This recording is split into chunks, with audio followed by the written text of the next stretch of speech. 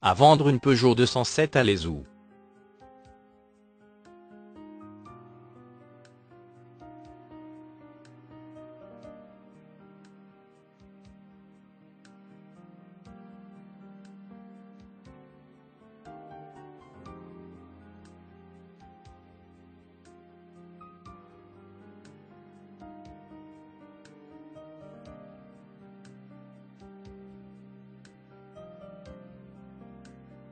Pour plus d'informations, cliquez sur le lien dans la description.